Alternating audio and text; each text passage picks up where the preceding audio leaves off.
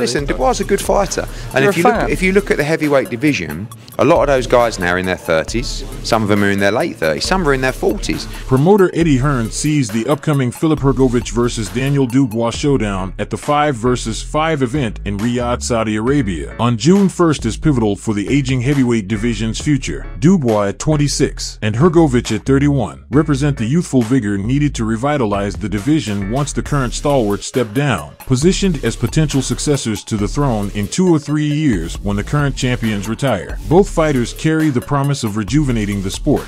While Dubois holds a slight age advantage over Hrgovic, he still has considerable ground to cover before he's deemed fit to ascend to the helm. The prospect of the vacant IBF title hanging in the balance for the June 1st bout amplifies the significance of their clash, with Anthony Joshua eyeing the winner. The stakes soar, promising significant financial rewards.